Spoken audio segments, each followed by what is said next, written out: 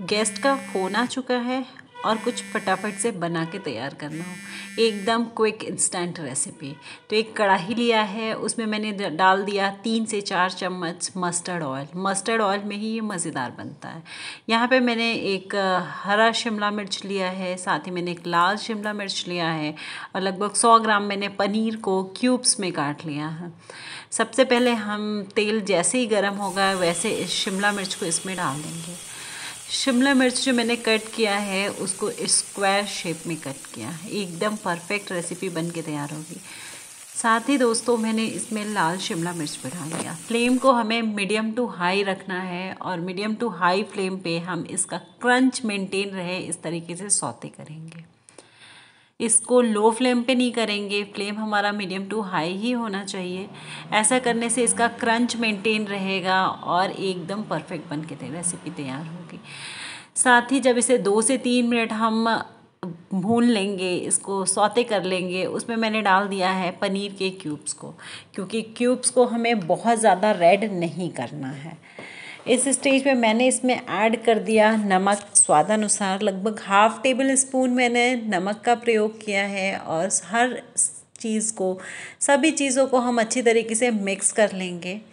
और ये देखिए, एकदम परफेक्ट तरीके से शिमला मिर्च भी पक रही है, साथ ही हमारे पनीर भी हल्के से ब्राउन हो रहे हैं।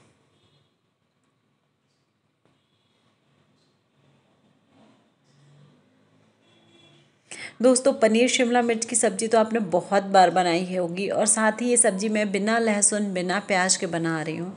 तो अगर आप लहसुन, प्याज नहीं पसंद करते हैं या फिर आप नहीं खाना चाहते हैं तो आप इसे आप इस रेसिपी को ज़रूर ट्राई करें।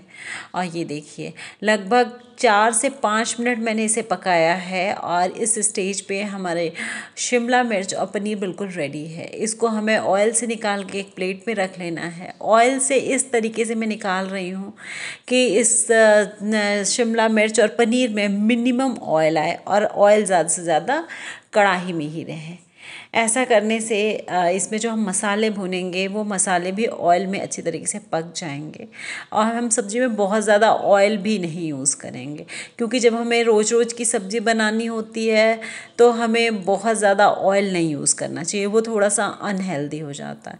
तो ऑयल तो हमारा गर्म था ही, उसमें मैंने डाल दिया है वन फोर्थ टेबल स्पून हींग।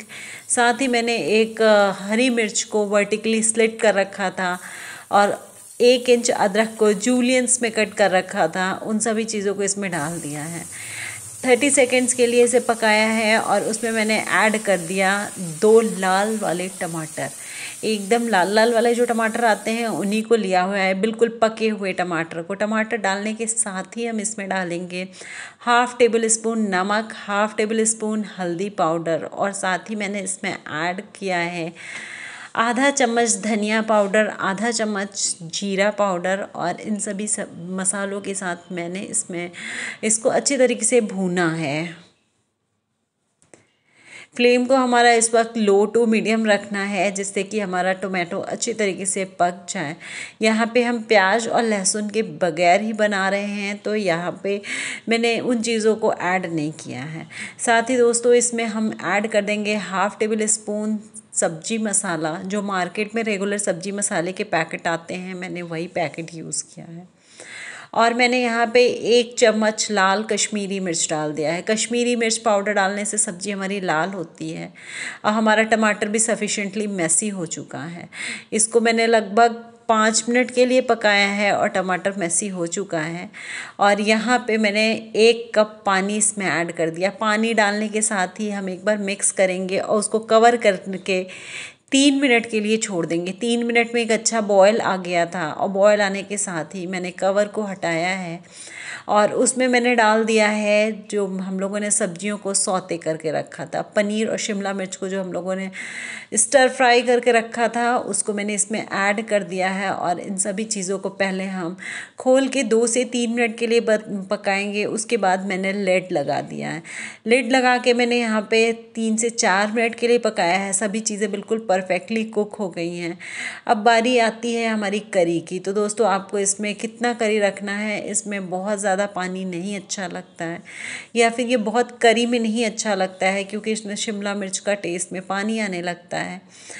तो मैंने इसमें बहुत ज़्यादा करी नहीं रखी है। इस स्टेज पे मैंने इसमें ऐड किया है आधा चम्मच गरम मसाला और साथ ही हम इसमें ऐड करेंगे एक चम्मच कसूरी मेथी। गरम मसाला और कसूरी मेथी का जो टेस्ट इस वक्त डालने से आता है, वो बहुत ही ज़्यादा लाजवाब आता है। इन सभी चीज़ों को मिक्स कर लिया है।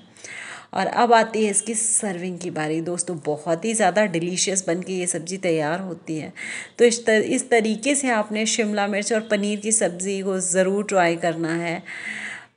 अगर आपके पास रेड शिमला मिर्च नहीं है तो आप इसको सिर्फ़ ग्रीन की भी हेल्प से बना सकते हैं। मुझे ये इजीली अवेलेबल हो गया तो मैंने रेड और ग्रीन दोनों लेके बना दिया।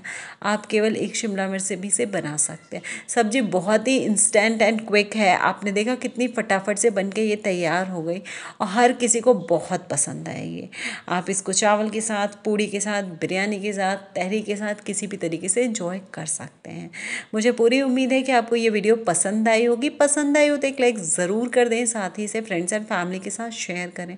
Thank you very much thanks for watching bye till my next video comes